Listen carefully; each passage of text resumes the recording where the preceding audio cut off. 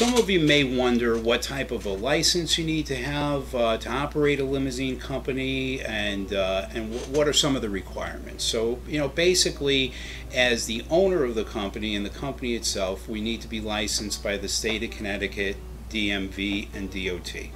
What that allows us to do is to basically provide transportation services to you any place within the state of Connecticut.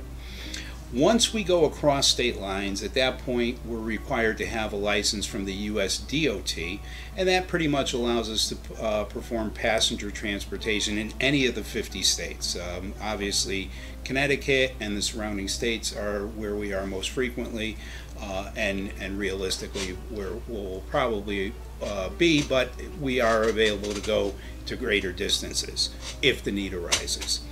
Um, when uh, when we start talking about insurance, we're mandated to carry a minimum of a million and a half dollars of liability insurance.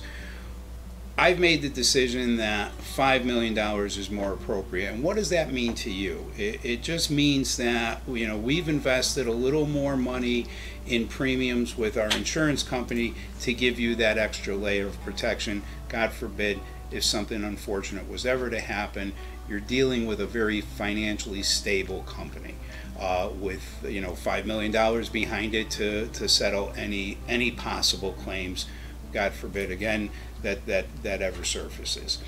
Um, some of our clients uh, re, uh, request a certificate of insurance, and basically what that is is a document that shows all of our policies, the expiration dates, and names you as an additional insured which would just make any claim process a little more streamlined in the event that we ever had to go down that road.